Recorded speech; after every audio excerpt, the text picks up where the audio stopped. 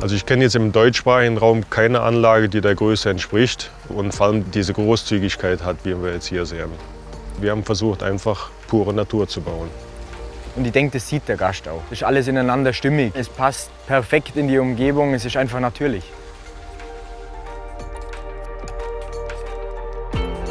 Der Wunsch nach Natürlichkeit und nach dem natürlichen Schwimmen ohne Chemie und ohne Zusätze ist ein ganz, ganz äh, großes Bedürfnis geworden, was sich ja auch im Wandel der Gesellschaft zeigt.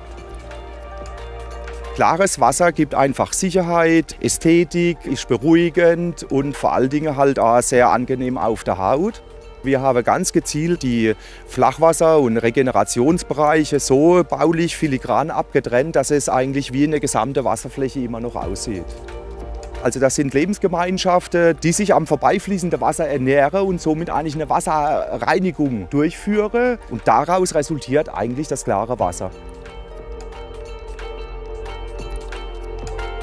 Teichmeister hat vom 10 bis 15 Kubikmeter Saunatauchbecken schon Großanlage bis über 40.000 Quadratmeter gebaut.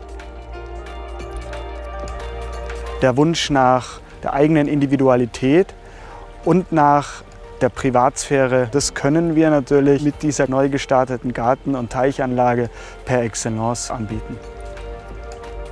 In dieser Anlage haben wir ein komplett neues Pflege- und Servicekonzept gebaut, wo der Hotelier die Folgekosten in dieser Richtung enorm einsparen konnte. So wenig wie möglich laufende Kosten in Ressource, Wasser und Strom. Und das bringt Teichmeister.